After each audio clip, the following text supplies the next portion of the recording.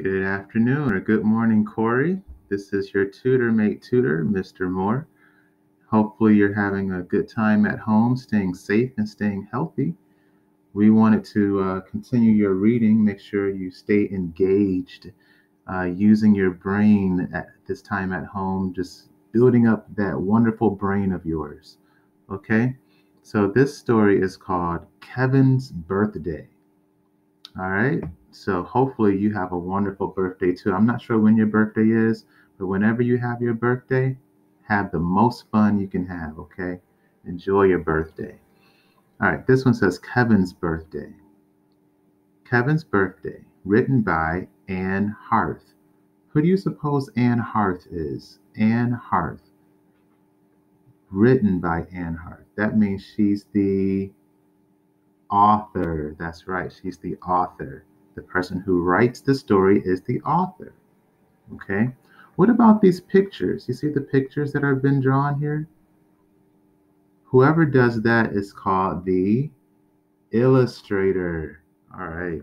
Let's go to the next page. Kevin jumped out of bed. It's my birthday. Sounds like he was pretty excited, huh? Are you excited when it's your birthday, Korey? I'm pretty sure you are. I know I am. He ran to the bathroom. He brushed his teeth. He washed his face. He looked in the mirror. It's my birthday. He's so excited it's his birthday. Kevin ran downstairs. The house was quiet. It's my birthday, he said. He looked in the kitchen. It was empty. He looked in the living room. It was empty too. What do you suppose is going on right now, Korey? Why are all these rooms empty? Interesting. He looked in the dining room. Nobody was there. Nobody in the dining room. Hmm. It's my birthday, Kevin whispered. Where is everyone?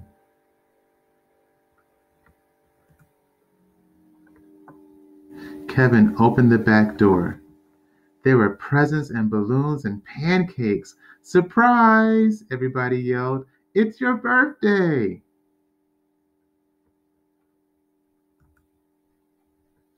All right, so here's your comprehension questions, Korey. Number one, where was Kevin's family?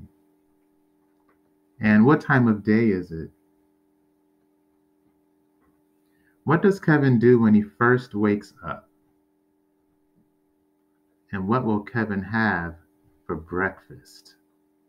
Okay, so start with the first question. Where was Kevin's family? Do you remember in the story? Where were they?